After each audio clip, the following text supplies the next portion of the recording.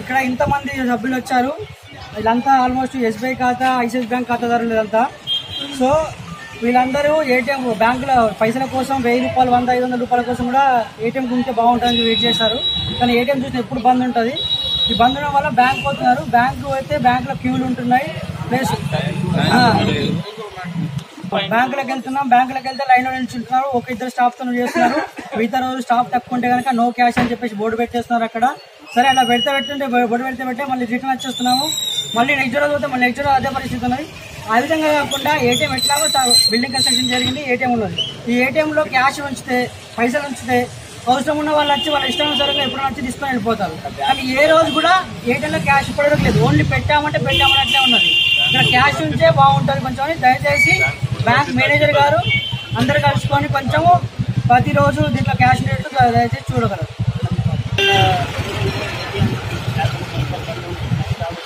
చాలా ఇష్టం SBI bank వెళ్ళినప్పుడు ప్రతిరోజు క్యూగానే ఉంటున్నారు అదేవిధంగా ఇక్కడ ఏటీఎం వాళ్ళ సిబ్బంది కూడా లేరు కాబట్టి ఇక్కడ ఎనీ టైం ఎప్పుడు వచ్చినా కస్టమర్స్కు ఏటీఎంలో డబ్బులు జనరేషన్ కొరకు మళ్ళీ సిఎస్పీ పాయింట్ పెట్టి వాళ్ళు వెయ్యికి పది రూపాయలు అట్లా కడిగేసుకుంటున్నారు రెంట్కి పరిమితం అవుతున్న ఏటీఎంలు?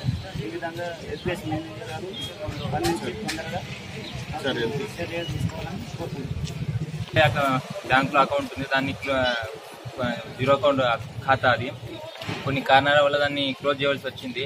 క్లోజ్ చేయడానికి minimum one to two days నేను వన్ మంత్ తిరిగే వాళ్ళది ఇలా తిరిగి తిరిగి తిరిగి అప్పుడు రెస్పాన్స్ అయ్యారు. రెస్పాన్స్ అయినా కూడా చాలా పొద్దున్న వెళ్తే సాయంత్రం రావడము సాయంత్రము పని కాకపోవడము మళ్ళీ రేపు రమ్మడము ఇలా వన్ మంత్ తిప్పారు. తిప్పి తిప్పి లాస్ట్కి ఇప్పుడు కూడా ప్రాసెస్లోనే ఉంది. అలాగే చాలా మంది ఇంకా క్యాష్ ఉన్నా కూడా నో క్యాష్ అని పెడుతున్నారు. సిబ్బంది లేకున్నా కూడా నో క్యాష్ పెడుతున్నారు. ఏటీఎం రెండు సంవత్సరాలు అయింది. ఇప్పటిదాకా ఇప్పుడు కూడా బందీ ఉంది. ఎప్పుడు కూడా బందీ ఉంటుంది. మనీనే ఉంటలేదు. ఏటీఎం జల్ది పిన్ జనరేట్ చేయాలన్నా కూడా చాలా ప్రాబ్లం అవుతుంది. బైన్సకాలే ఉంటాయి నిజామాబాద్కి వెళ్ళి దూరం దూరం వెళ్ళాల్సి వస్తుంది. అసలు ఇక్కడ ఉండడం ఎందుకు? ఏమన్నా